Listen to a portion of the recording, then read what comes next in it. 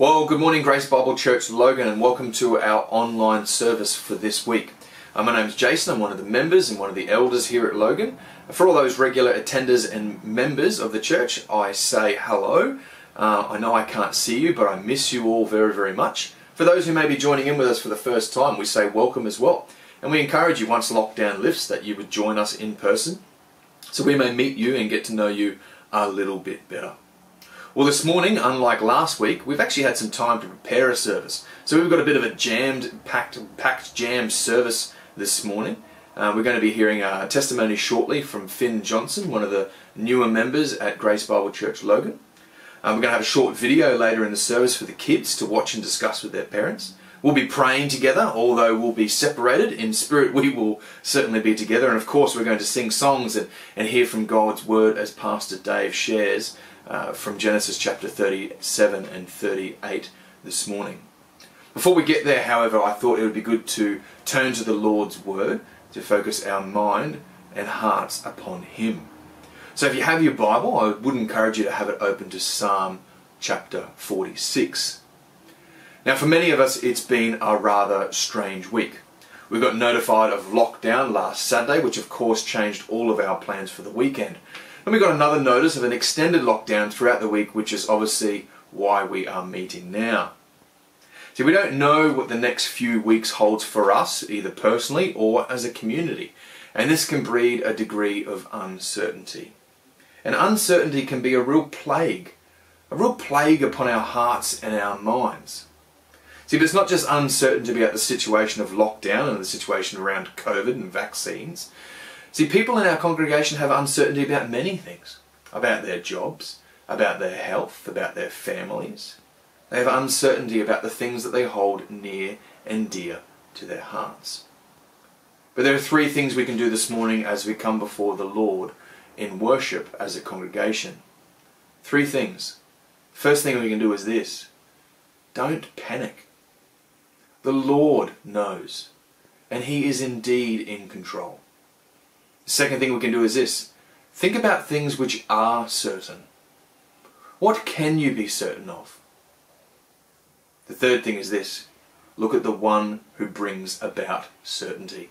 And that is the Lord our God. This is the reason why I want to turn to Psalm 46. See, Psalm 46 is a favourite psalm for many. But not just many people in the modern time. It's been a favourite psalm for God's people throughout history. It's a psalm that reminds us of God's power, His authority, His past works, and His future works, and it directs our focus towards Him.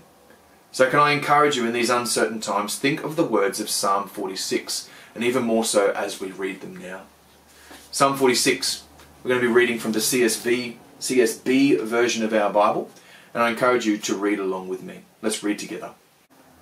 God is our refuge and strength, a helper who is always found in times of trouble. Therefore we will not be afraid, though the earth trembles and the mountains topple into the depths of the sea, though its waters roar with foam and mountains quake with its turmoil. There is a river. Its streams delight the city of God, a holy dwelling place of the Most High. God is within her, and she will not be toppled. God will help her when the morning dawns. Nations rage, kingdoms topple, the earth melts when he lifts his voice. The Lord of armies is with us. The God of Jacob is our stronghold. Come, see the works of the Lord, who brings devastation to the earth. He makes wars cease throughout the earth. He shatters bows and cuts spears into pieces. He sets wagons ablaze. Stop your fighting and know that I am God, exalted among the nations, exalted among the earth. The Lord of armies is with us and the God of Jacob is our stronghold. Well, I do pray that the reading of Psalm 46 would help you to focus your hearts and minds upon the Lord this morning. But before we go into song, how about we just commit the service to the Lord in prayer? Would you bow your heads and pray with me? Our most gracious God and Heavenly Father, we come to you in times of uncertainty, this is true. But we also know that you are the one who brings about certainty. You are the one who knows the start from the beginning and nothing takes you from surprise. So, in that, Lord God, we do ask that you would help us focus our minds upon you this morning, for you are the only one who is the same forever. Help us this morning to lift up our hearts and lift up our minds and our voices in song wherever we may be, and let us declare the truths about who you are in song that they may impact our hearts and our souls this morning. We do pray that as we hear from your word later, that Lord God, you would touch our hearts and that you would open our hearts to receive your word, and that indeed you would be at work by the power of your Spirit. Until we meet again in person, we pray that you would bless our time with you this morning. We pray that in Christ's name. Amen. Let's sing together. Morning, church. Uh, hope it's uh, good to uh, join us in, uh, with, in song this morning, and there's a couple of familiar faces for you. And uh, so just uh, join us this morning as we sing His Mercy is More. Praise the Lord, His mercy is more.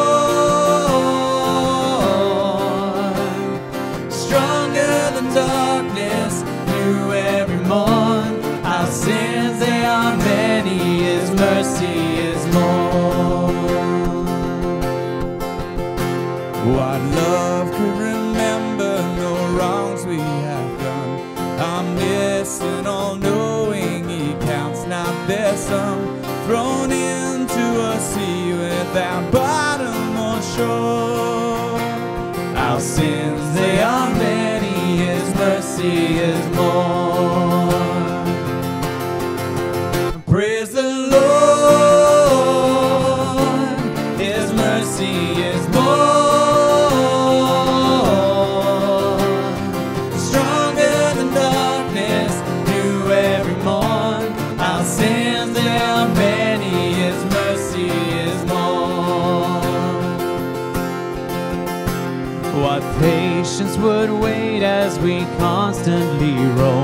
What Father so tender is calling us home?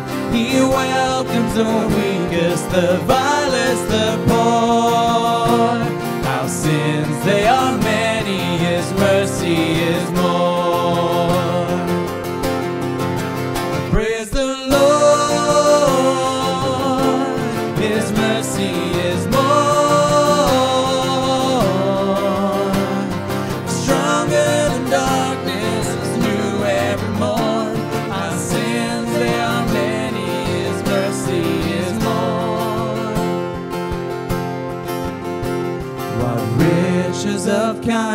He lavished on us.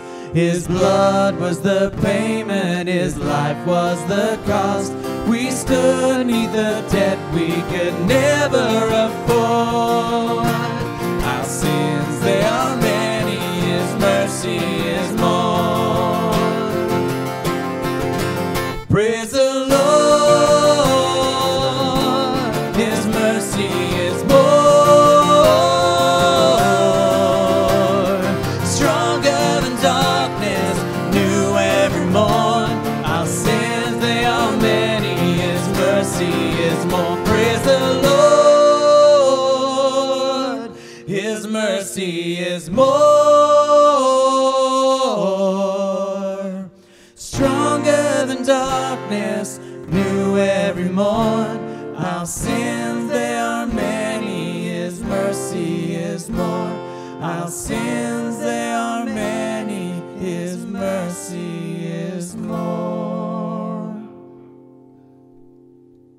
Amazing Grace.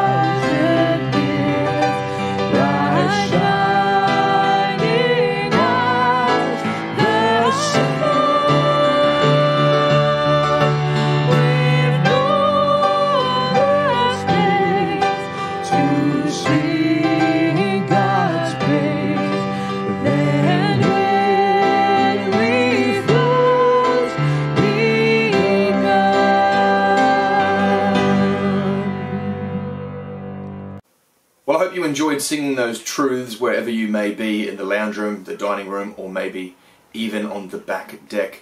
Hey, before we continue on with the service, there are a couple of quick announcements that I want to go through. Uh, we don't know what's happening with lockdown. Well, at least when I'm recording this video, we don't know uh, what's happening with lockdown. If it does continue, uh, our grace groups will be meeting online, well, most of them will be at least anyway.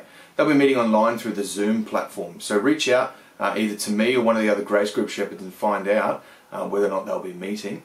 Uh, one thing about meeting online is some people can't usually get out at night. Um, so meeting online is a good way that you can actually join a group uh, when you couldn't previously join a group. So I encourage you to do that. Uh, even more so if this uh, lockdown is extended, um, it's a good way to keep in contact with people from the church. Uh, another thing, uh, we are in Judges chapter 6 starting of Monday. so in our Bible reading plan, if you haven't got a Bible reading plan, join on with us with the church. there's a link on the Facebook site in regards to where we're at. But now, look, now in our service, we're actually going to continue on with it. We're going to actually have a kids video. So kids, uh, stick around. We're going to watch a video together. And then Finn Johnson's going to come and share a testimony. Then Kailani's actually going to read our passage this morning. And then straight after that, Pastor Dave is going to come and preach from Genesis chapter 37 and 38. So enjoy the rest of the service. God bless you. And I'll see you when I see you. Bye. God's story the good news. So, part of God's story is about the gospel, or the good news. And it goes like this In the beginning, God made everything the sun, the moon, stars, planets, the entire galaxy. And Earth was part of that creation. God made mountains and oceans and forests and deserts and animals that crawled on the ground and flew in the air and swam in the water. Then he made people Adam and Eve to live in a garden called Eden, and God called everything He had made good. There was just one rule Adam and Eve could eat anything they wanted except for the fruit from this one tree. But a snake tricked Adam and Eve into disobeying that one rule. Because of that, sickness, sadness, and all kinds of bad things came into God's perfect creation, all because people made wrong choices. Part of how God punished Adam and Eve was by not allowing them in the perfect garden anymore. And if that were the end of the story, that would be bad news for us. That would mean all the wrong stuff in the world would never be made right. But God still loved people, and He had good news for them. He was going to send a rescuer. So they waited, and waited, and waited. Then one day, the rescuer was born as a baby named Jesus. Christmas is when we celebrate the good news of Jesus being born. But it's not just that he was born, it's what he did later that was the best news of all. He took the punishment for all the wrong choices that anyone has ever made anywhere. See, all of us have continued to make wrong choices, just like Adam and Eve did. And just like Adam and Eve, we deserve to be punished for our wrong choices. But here's the thing Jesus, the rescuer, never made a single bad choice. Kids, think about a time you made a bad choice. Maybe telling a lie, or taking something that wasn't yours, or hurting another person with something you did or said. Can you believe that whatever that was, Jesus never made a choice like that? And even though he never made a bad choice, he still took the punishment for our wrong choices? And then Jesus did something even more completely unexpected. He came back to life. Really? You can read about it in the Bible, in the stories written by Matthew, Mark, Luke, and John. We call those books Gospels, which is just an old fancy word for, you guessed it, the good news of Jesus coming to earth, dying for our wrong choices, and coming back to life. That's what we celebrate on Easter. But not just because coming back to life is totally amazing. By coming back to life, Jesus was showing that God can make anything new. There's nothing God can't do. He's more powerful than any sadness, shame, wrong choice, disease, disaster, and even death. And that's the best, most amazing good news of all. It's so amazing, Jesus' friends told everyone they could find about the good news. And those people told other people. And those people told other people. And on and on. And that's still happening today. In fact, you just heard the good news, and the Bible says, If you openly declare that Jesus is Lord and believe in your heart that God raised him from the dead, you will be saved. For everyone who calls on the name of the Lord will be saved. That's another way to say God rescues us. And that rescue includes you, your friends, your family, and anyone else in the whole world. And that's the story of the good news. So, in case you missed it, here's the quick version God made a perfect world. People made mistakes, and the world isn't perfect anymore. God promised his family a rescuer. The rescuer's name is Jesus. Jesus died to take a punishment we deserve, but he didn't stay dead. Jesus came back to life because Jesus can make anything new. And that's a part of God's story.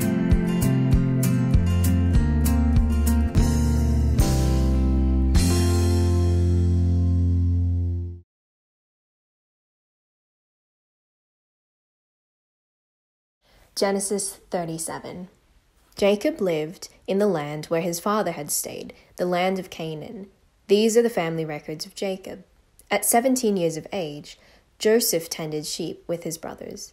The young man was working with the sons of Bilhah and Zilpah, his father's wives, and he brought a bad report about them to their father.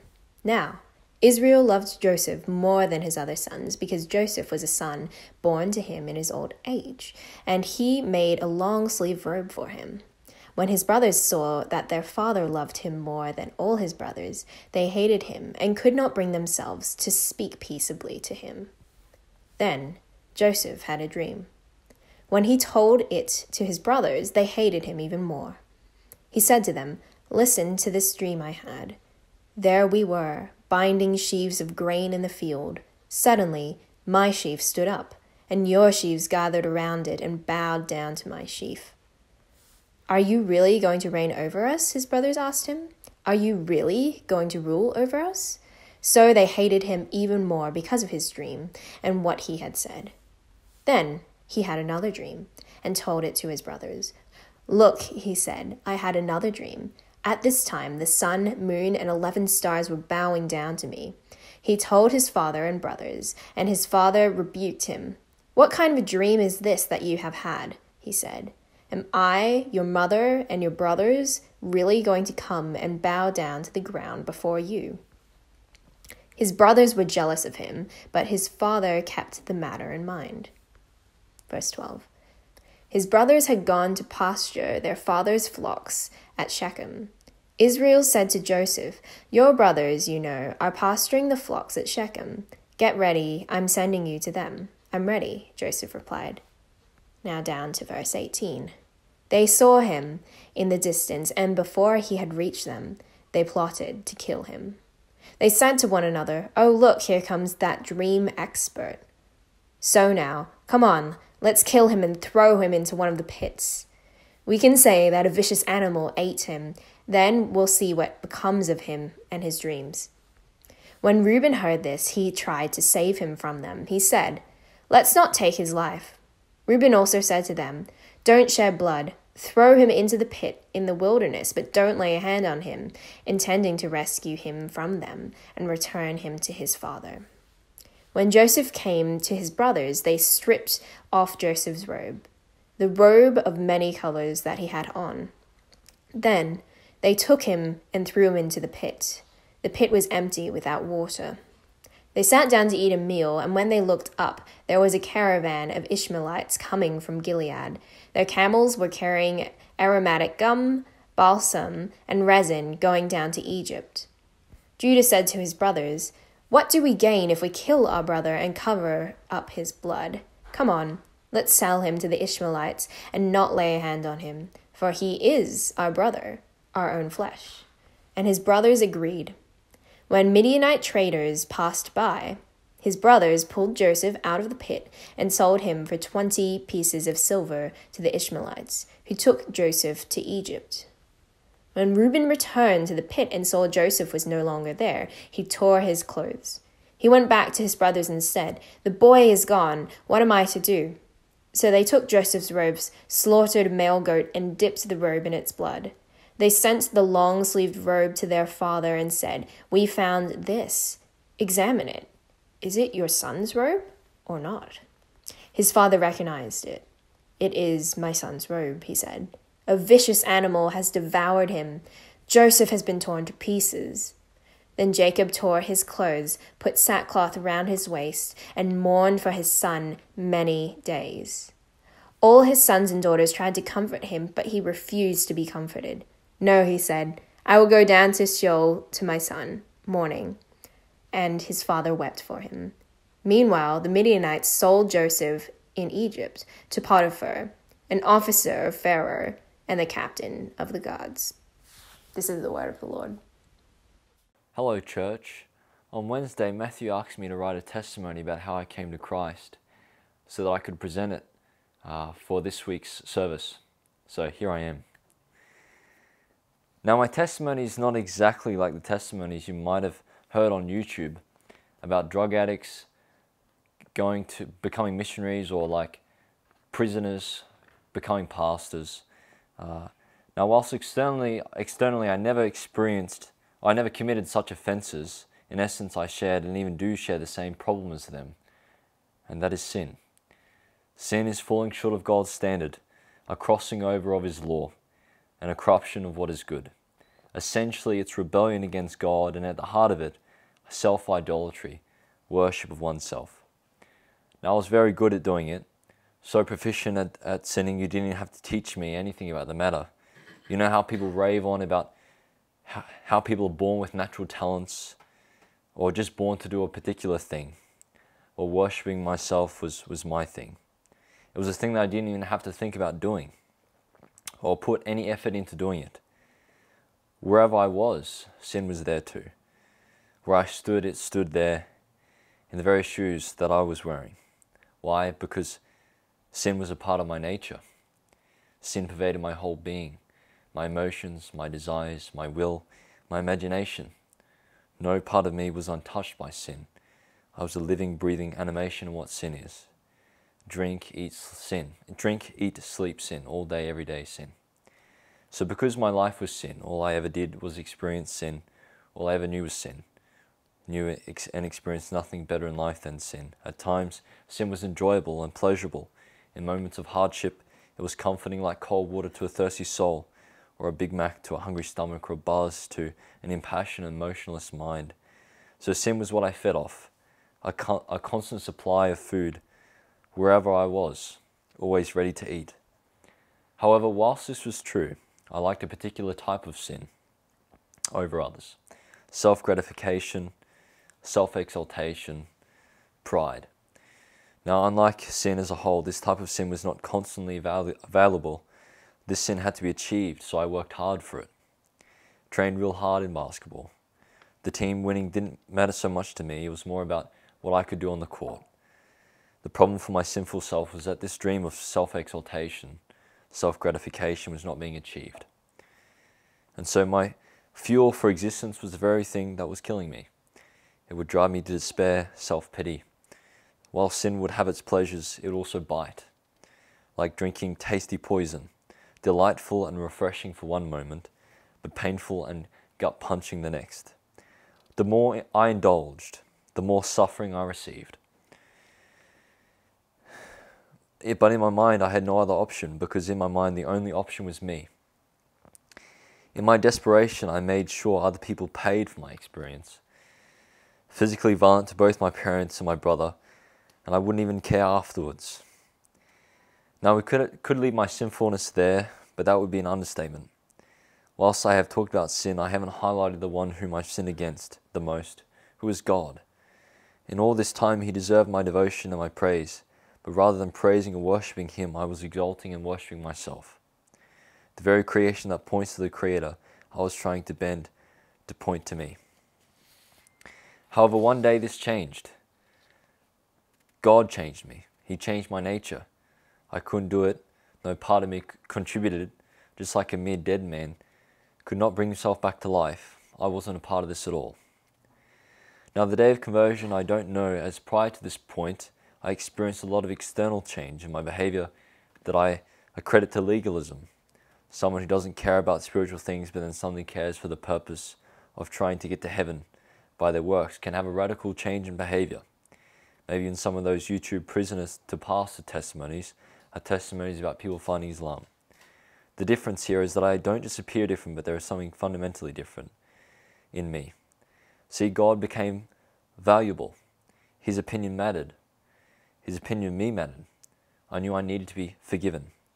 So I believed the news that in the past meant nothing, but now means everything. That Jesus paid for my sins, past, present, and future, so that I would be reconciled to God.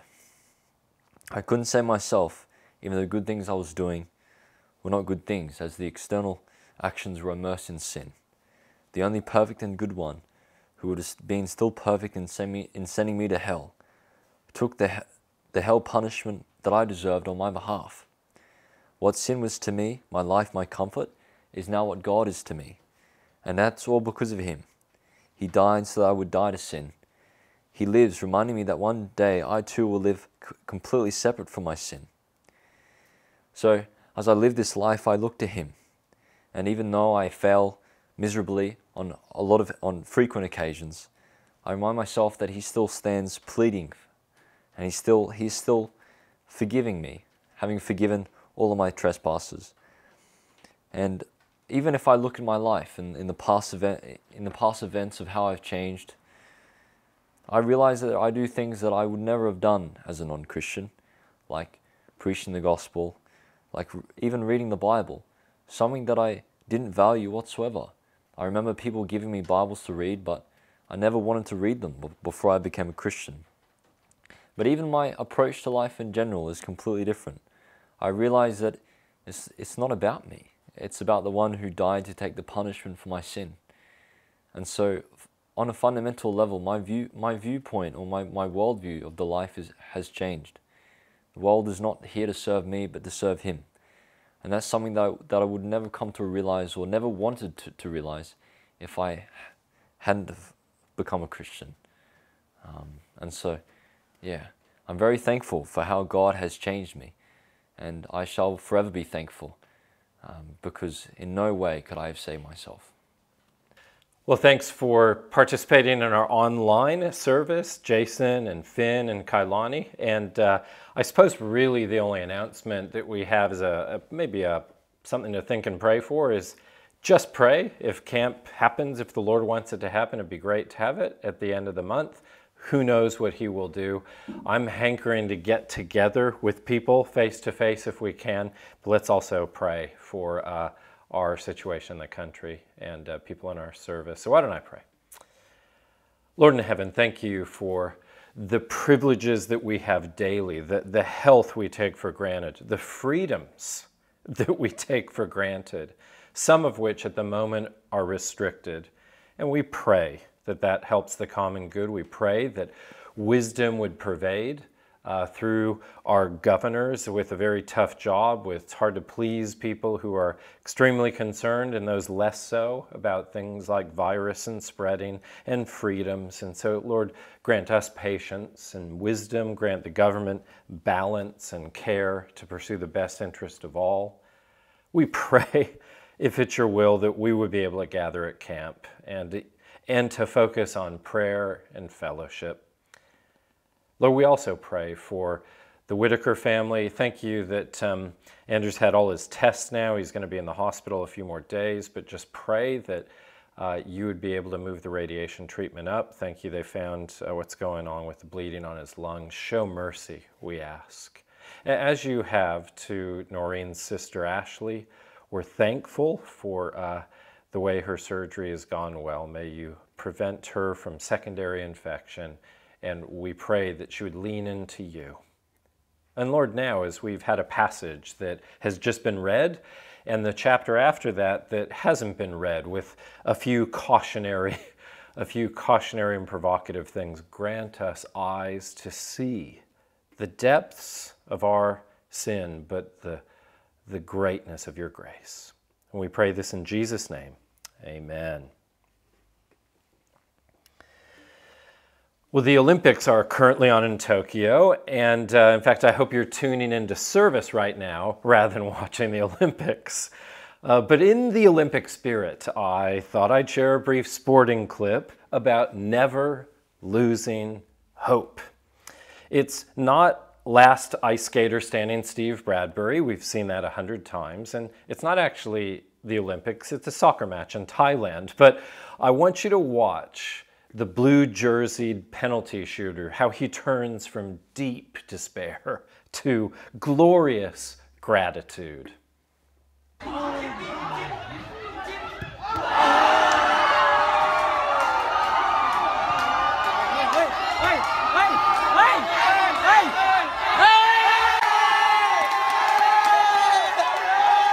On his knees, hands and face to the sky, thanking God for something rather trivial, a soccer goal. Uh, what if you're despairing about something rather significant? Uh, failing to get a grip on dangerous habits or patterns in your life that are wrecking relationships, wrecking work relationships, church friendships, family relationships. Uh, maybe you're lacking purpose in life, lacking hope that you can be useful once again, or lacking hope that you of all people can be forgiven and accepted. Deep despair needs a bigger hope moral hope, spiritual hope, eternal hope. The Apostle Paul, before his conversion to Christ, was a zealous Jewish leader who used to hunt down and arrest many Christians seeking their death. Paul, also known as Saul, back in Acts chapter 7, leading the execution of Stephen by stoning.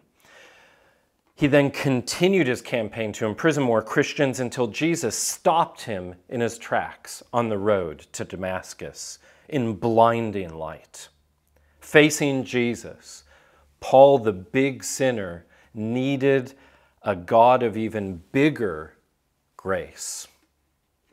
See, astoundingly, rather than strike down Paul the persecutor, Jesus showed grace, forgiving and saving Paul, even calling him into Christian ministry. And so Paul would write, I am the least of the apostles, not fit to be called an apostle, because I persecuted the church of God. But by the grace of God, I am what I am saved, called an apostle, but by the grace of God. That's a precious phrase that was paraphrased by a 16th century reformer and preacher, John Bradford. He saw a group of prisoners being led to their execution in England.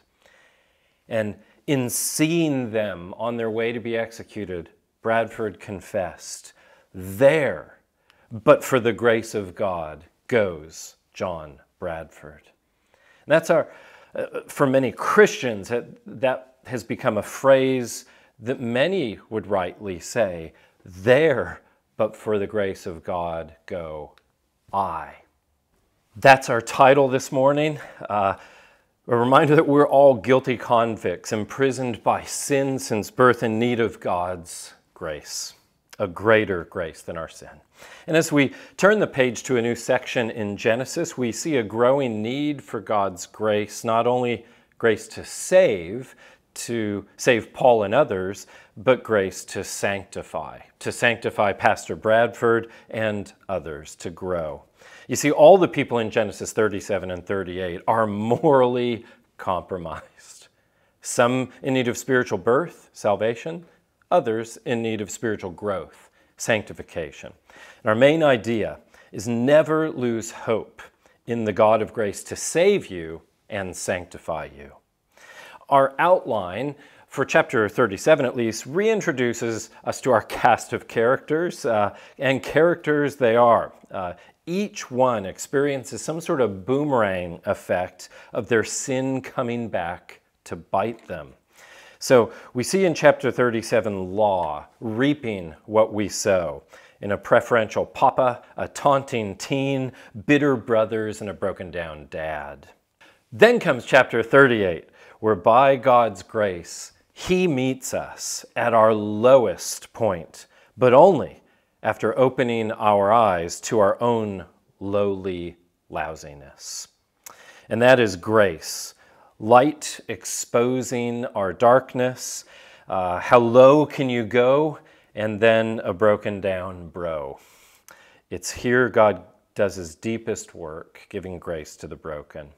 So, uh, chapter 37 is really the introduction to the whole section of 37 to 50, and chapter 38 is where we see the deep work of God in a human heart. Let's get into the law and reaping what we sow. Now, if you're wondering, did we skip chapter 36? Yes, you are insightful. That's because it is simply the genealogy of Esau. Uh, these are the family records of Esau, and it's a very long genealogy. 72 descendants are listed. So I spared you reading through that, but 72 is a significant number because 72 is also the number of nations. If you remember chapter 10 in the table of nations, nations that represent every future nation who would be blessed through the promised offspring of Abraham, the Messiah. Because the covenant promises of God at this point in salvation history revolve around the promised land and the nation Israel leading to Messiah, commentator Gordon Wenham wrote this tragic summary of Esau himself. When Esau left the land, he walked out of the record of saving history. Nonetheless, the gospel will be shared with even Esau's descendants because Jesus the Messiah died to redeem people from every tongue, tribe, and nation, including some of those descendants of Esau. So, chapter 36 in a nutshell Esau has heaps of descendants, heaps of stuff, and lots of rulers and chiefs as sons. Jacob has 12 sons, but he now lives in the land. Chapter 37 Jacob lived in the land with, with his, where his father stayed, the land of Canaan. And these are the family records of Jacob. So, this is the last section, and it focuses predominantly on Joseph, the fourth of four founding fathers in Israel. The Joseph narrative gets more chapters than any others in Genesis, more than Abraham, even, and Isaac and Jacob. So much space because it so clearly, in so many ways, points us to the grace of God found in that promised one, Jesus Christ, whom we'll consider more in weeks to come. In chapter 37, it's the best known, probably, of many of the chapters in the book of Genesis, and it's mostly self explanatory. So we'll skim through it, highlighting key bits. The chapter begins telling us Joseph was a young shepherd, 17 years old, working alongside his half brothers, and he brought a bad report about them to dad. Now, probably it was an honest report, but likely mixed with some brotherly bias. Uh, either way, young Joey is acting like a school hall monitor, dobbing in people, in this case, his brothers. The school hall monitor, the guy everybody loves, not. Everybody loves Raymond, not everybody loves Joseph, except for dad, preferential papa. So much sin comes back to bite in these chapters, but the first we see is favoritism. Jacob was the clear favorite child of his mother Rebecca.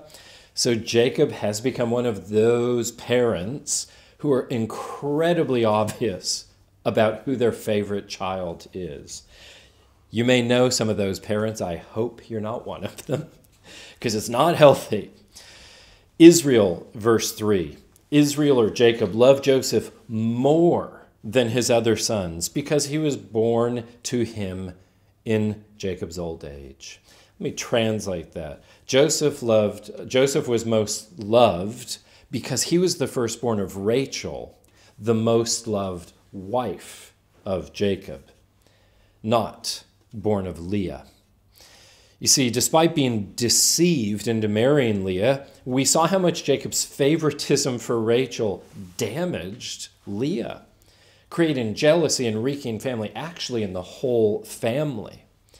And when Jacob had to face Esau again, recall how Jacob minimized his risks, splitting his estate into two camps. And which camp did he send to the front line?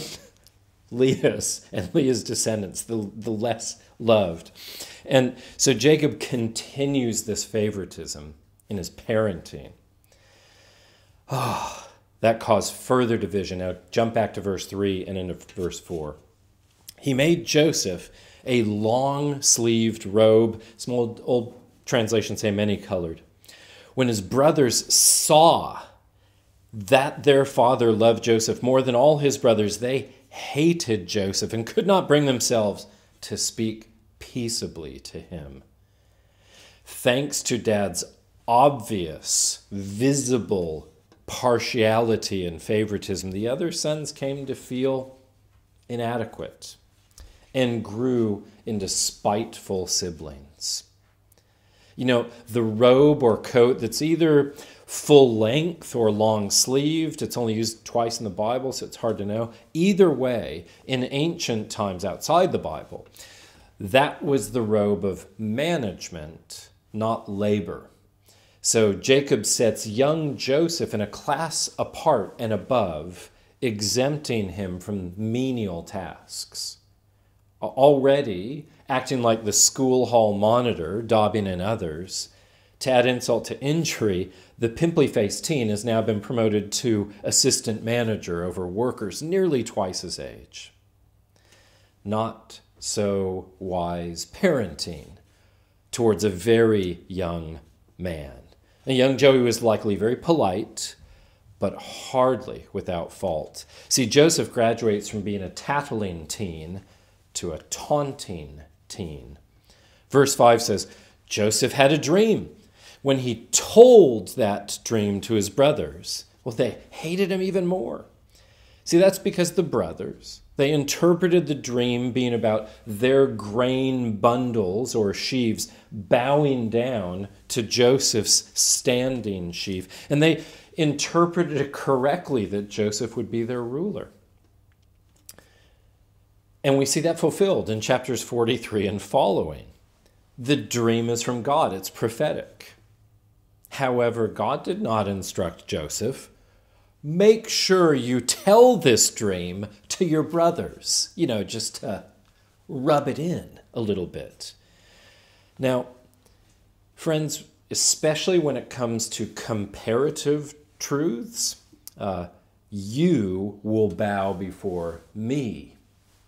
Uh, heaps of things are true, but that doesn't mean they should be shared or broadcast.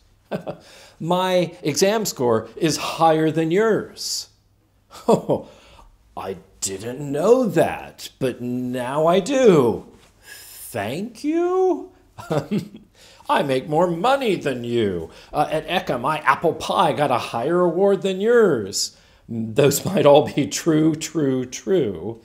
But here's a truth from the book of Proverbs Let another praise you, but not your own lips.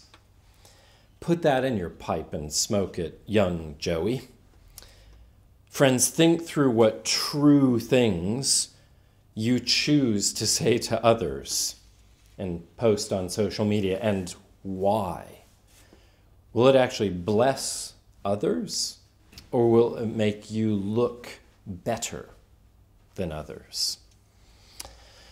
Seeing the brother's reaction of disgust, if Joseph was wise and humble, he would have refrained when he got a second similar dream. The sun, moon, and stars would bow to him, but he did not refrain.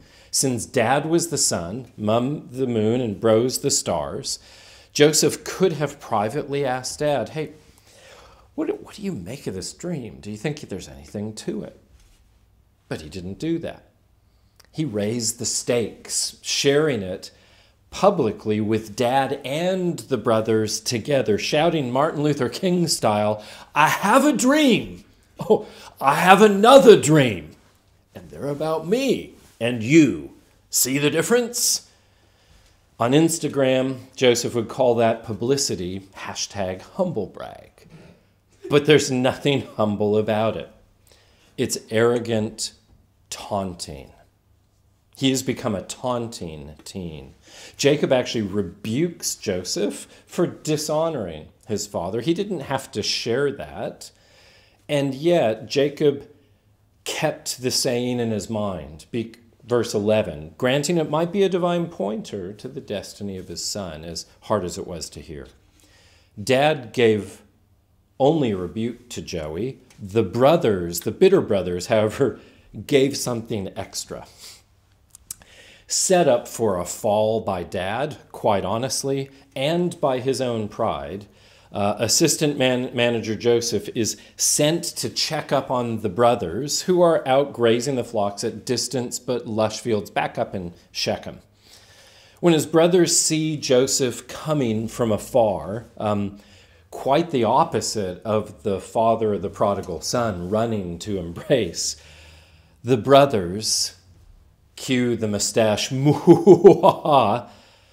they're planning to rid themselves of this dream supremacist. Verses 19 to 20. Oh, look, here comes that dream expert. So now, come on, let's kill him and throw him into one of these pits or cisterns. We can say that a vicious animal ate him, then we'll see what becomes of his dreams. See, with somewhat questionable motives, then, the eldest brother Reuben steps in in verses 21 to 22. Reuben heard this. He tried to save Joseph from them, and he said, Let's not take his life. Don't shed his blood. Throw him into this pit in the wilderness, but don't lay a hand on him. And then the comment from the author Moses, intending to rescue him from them and return him later to his father. So Reuben wants to come back save Joseph. The angle he took to buy some time and let anger calm was, you know, hey, if we throw Joseph alive into the pit, well, we won't be guilty of shedding blood. Um, hey, the end result will be the same because there's no water in there. He can't get out. He'll, he'll die of dehydration. And then they sit down and have a feast right next to him. Precious brotherhood. All the more precious since chapter 42 is clear that Joseph begged for mercy. As the brothers, years later and now in big trouble, reflect obviously, we are being punished for what we did to our brother. We saw his deep distress when he pleaded with us, and we would not listen. And this is why trouble has come upon us. It seems it's Reuben's rotation to check the flocks because he, he walks away and brother Judah steps in to seize the opportunity. Cha-ching, uh, becoming one of the first cash converters in the Bible, saying to his brothers, What do we profit if we kill our brother, let him die there. Come on, let's sell him to the Ishmaelites. So Judah pawns off Joseph like a cheap hand me down, selling him into slavery to a convoy of merchants headed for Egypt for 20 silver coins. Divided by 10 brothers, two coins apiece. You know, a, a word of application all the brothers share some guilt. Joseph, though he did not deserve this, certainly, he was tattling and taunting. Reuben, he had more of a just and measured reaction, but he too was one of the Joseph haters, remember? What was his ulterior motive? Well, if you think back to the end of chapter 35, Reuben, the firstborn, he had fallen into disgrace with dad, and he because he slept with dad's concubine. So, planning to be the one who saved Joseph and brought him back, he said to return him to dad. They tried to kill him, but I rescued your favored son. He was hoping to get back in the good books with dad and regain his chance at the birthright and the blessing. But Judah, particularly, is guilty of both coveting and envying. Cornelius Plantinga reminds us of the difference. He says to covet is to want somebody else's good so strongly that one is tempted to steal it. To envy is to resent somebody else's good so much that one is tempted to destroy it. A coveter has empty hands and wants to fill them with someone else's goods.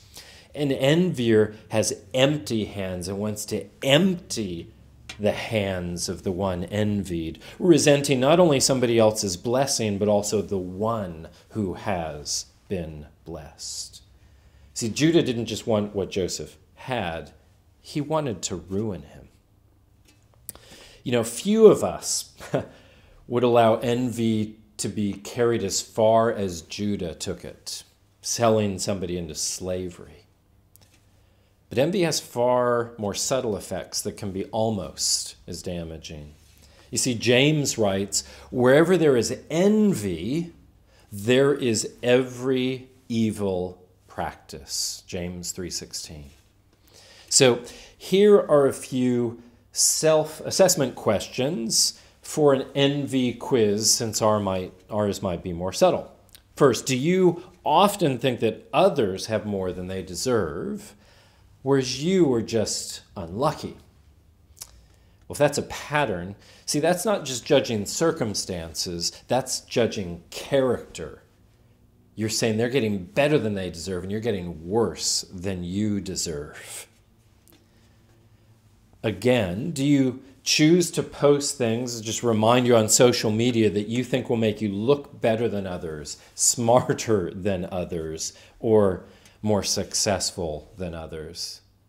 This is such a temptation. I've got to say, with the stuff going on in the political world and the nonsense going on in the theological world, I've had to reassess some things because I've been sharing some rub it in the face kind of posts that um, I'd have to admit, I think, in studying this passage, have been more to make people look dumb, dumber than me. And that's just not right. We take every thought captive to Christ. We don't assassinate people. Hitting closer to home, uh, for me, probably for many of us, does your competition in sports, board games, the workplace often lead to personal insult or even injury? You see, that successful coworker who got the promotion you were hoping for, perhaps your envy will not drive you to seek their dismissal, but it may lead to that steady onslaught of, you know, put downs and, and ridicules, trying to make them look bad at every opportunity, and in the process make yourself look better by comparison. You know, you could substitute from coworker to sports teammate or your brother or sister, and it's the same. We express concern over their poor performance to the management. We chuckle at their blunders, we mock their naivety, devaluing them as individuals, but putting ourselves forward as above such faults. That, friends, is the more common face of envy. And we need to learn to recognize its green color in our mirrors if we are to overcome it. As the chapter wraps up, Joseph is the primary target, but dad is the collateral damage. We meet a broken down dad in Jacob. As Jacob was dece- sorry, as Jacob deceived his own dad, Isaac, with goat skin, if you recall, so now Jacob's sons deceive Jacob with goat's blood, dipping Joey's robe, splashing it in goat blood. Look at your Bibles at verses 34 to 35. Then Jacob tore his clothes, put sackcloth around his waist, mourned for his son. Many days all his sons and daughters tried to comfort him, but he refused to be comforted. No, he said, I shall go down to Sheol, to the grave, to my son, mourning. And he wept for Joseph. That's just, that's sad. You know, in the school of hard knocks, Jacob's faith is being refined by three generations of relatives. First, Jacob graduates from Hard Knocks High School with Uncle Laban. Then he did his graduate course facing brother Esau, and now finally his postgraduate course with his sons, the third generation. You know, tragedies multiply when everyone is looking out for number one and putting themselves first. And that's pretty much what happens throughout chapters 37 and 38. As we turn to chapter 38, I want to highlight that chapters 37, actually to 39, they form a unit. We're going to look at 39 next week, but it's hard to see this in the English translation, but Jacob, Judah, and Joseph all went down in Hebrew uh, because this is the story transitioning from the story of Jacob to Judah, uh, sorry, to Joseph, but then Judah is also a significant player. And in each of the three chapters, a clothing garment or accessory is used deceptively as evidence. Joseph's robe, used deceptively by the brothers, Judah's signet ring and staff, used deceptively by Tamar, his daughter in law, and then Joseph's new robe, used deceptively by Potiphar's wife. Uh, I'll highlight this just to show these are a stylistic unit, and therefore it is no accident what comes in chapter 38. It's not misplaced, it's, it's very deliberate. So when chapter 37 ends, Meanwhile, the Midianites or um, Ishmaelites, similar people, are sold, uh, sold Joseph in Egypt to Potiphar, an officer of Pharaoh, the captain of the guards. We're hooked in suspense. What's going to happen to Joseph, poor Joseph in Egypt? Chapter 38 is meant to feel like an intrusion, a derailing of the Joseph narrative as the private life of Judah gets a huge double click. You see, his, his life and character are a key part of the larger narrative. Um, Jacob's three eldest sons, Reuben, Simeon, and Levi, have all fallen out of, out of favor with dad. So, what will happen to son number four, Judah? Here we see grace from God, light exposing darkness, and it's really dark. How low can you go? Well, we see that in this chapter. The Bible says bad company corrupts good morals. And Judah chooses poorly in marriage and in friendship. And verse 1 says Judah broke away from his family. He became best mates with a Canaanite, Hira or Hiram of Adullam, a place best known for the cave that King David would later take refuge in. So his best mate is a Canaanite. Verse 2 says he married a Canaanite named Shua, also Bathshua. Judah's dad, Jacob, was told, Do not marry a Canaanite. Judah would have known better, but he didn't care. Now, remember God's concern with marrying is not a Canaanite is not race or ethnicity. It's it's false worship and idolatry, and that leads to immorality. See, when, when Moses or Boaz married non Jews who worshiped Yahweh? No problem. But here we see Judah's best mate and better half are both unbelievers, two most influential people in his life.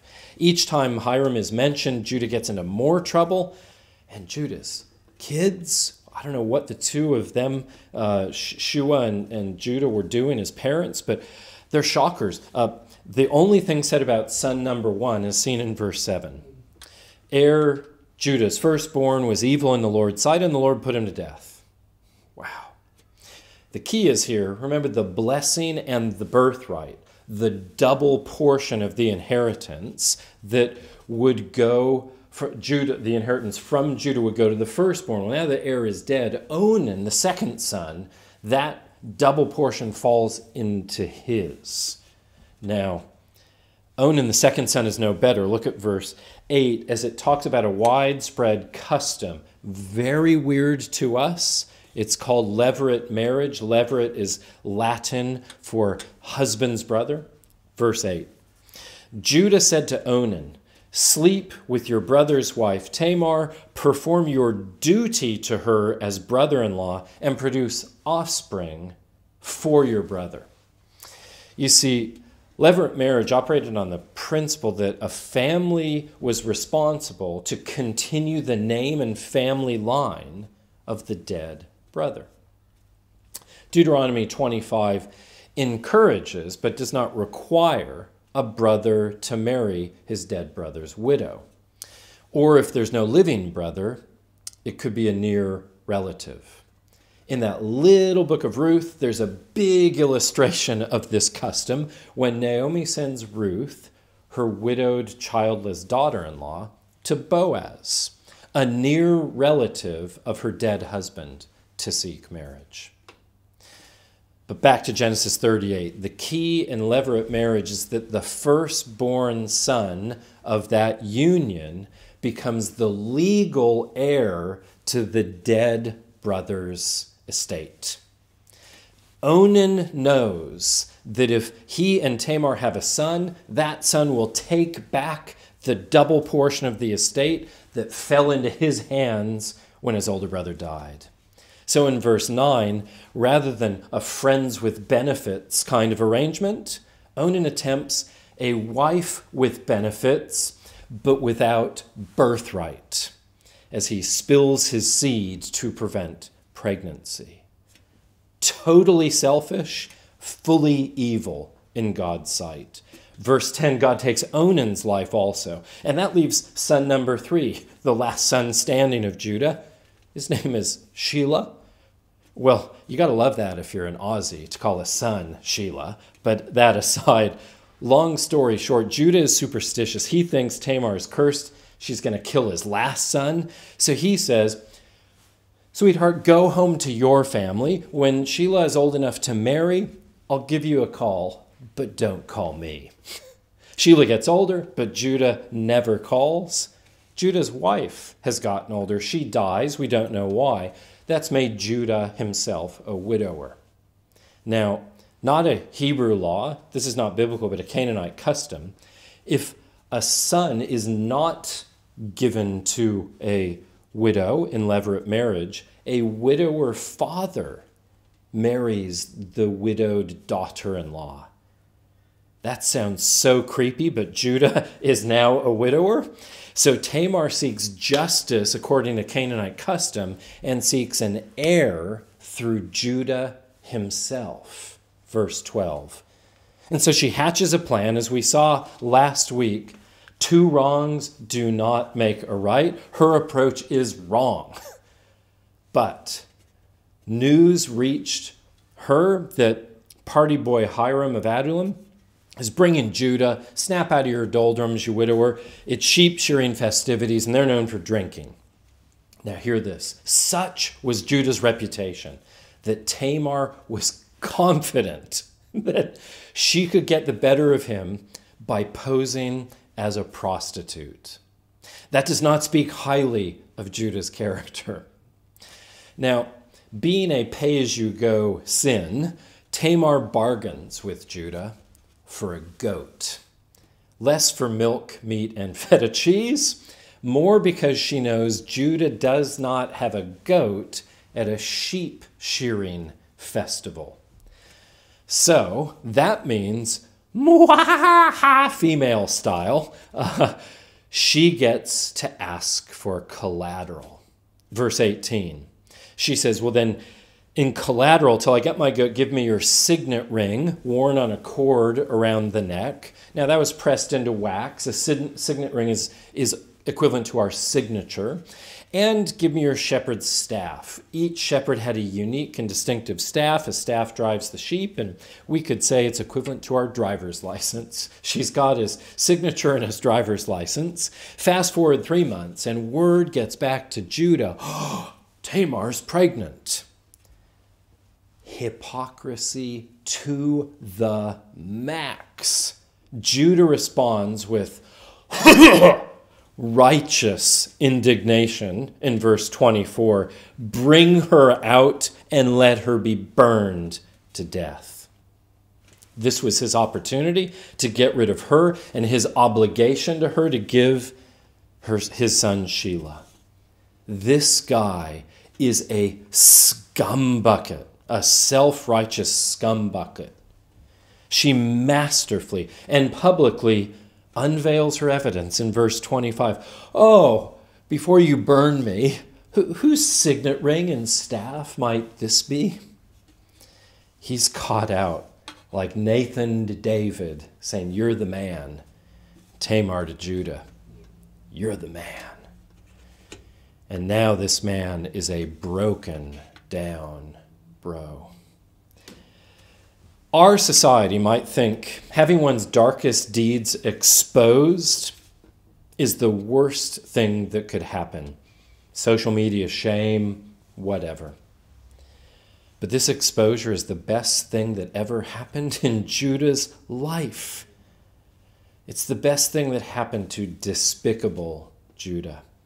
To awaken him to the state of his soul, like Paul on the road to Damascus, so that Judah could be saved, made new, and made useful. It's here the penny drops for Judah in verse 26. Judah said, She, acting like the prostitute, this cursed, vexed woman, is more righteous than I.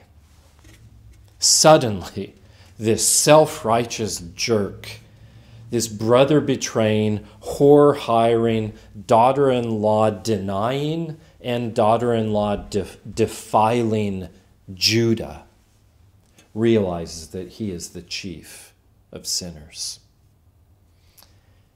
How low can you go? Well, Judah hits rock bottom, and it is in our humble brokenness that God does his deepest work. You see, following this, each speech that Judah gives and each action Judah takes is more commendable and honorable than the previous one. Judah, Judah just owns up to everything. He is a changed man by God's grace. Just a sneak peek at a verse in chapter 43.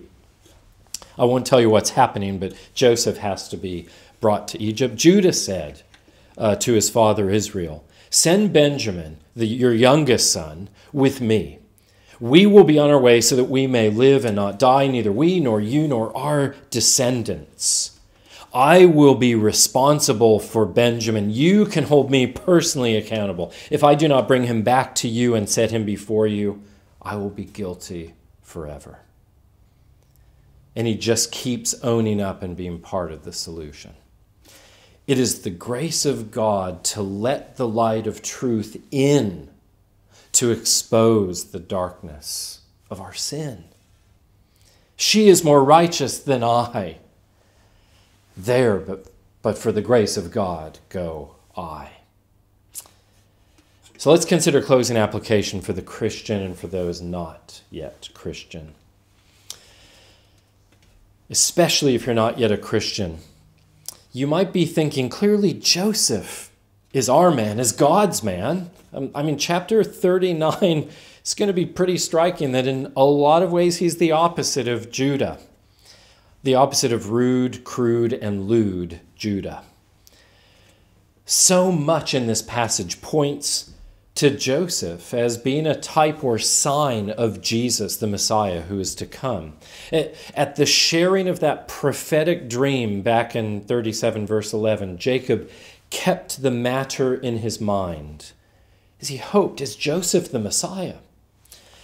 That language in the Greek translation of the Old Testament is identical to the Greek in Luke 231, where another prophecy is shared about Jesus, and Mary pondered these things in her heart.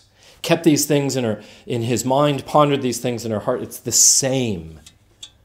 You see, Joseph is a pointer to Jesus. They're both a shepherd, beloved by the Father, sent by his father to find his brothers, sold for pieces of silver, and through this infamy of betrayal, becoming their Savior. And yet, friend, the line of Messiah, the scepter of rule will be through the tribe of Judah, not Joseph. So that everything is by God's undeserved grace, so that you cannot boast, so that I cannot boast before God except in Christ alone, dying on a cross to take our shame and blame and guilt to make us right with God and save us and bring us into God's family forever. Jesus, the Savior of, of strangers, the Savior of the world. Despicable me, Judah, was saved because he saw this grace expose him and the glory of God. Tamar, the prostitute pretending Canaanite, is in the lineage of Messiah. Ruth the Moabitess is in the lineage of, lineage of Messiah. And by faith, you can be too. I pray you would gloriously bow your knee to him as your Lord and Savior, trusting in him alone and worshiping him. Be saved this day. Now, for the Christian and being sanctified, don't lose hope. God's grace can sanctify you. We need to keep working on humility. It doesn't just happen and stay. See, Paul, the mature, godly missionary to the world, as a Christian, in the present tense said, I am the worst of sinners. Not I was, I am.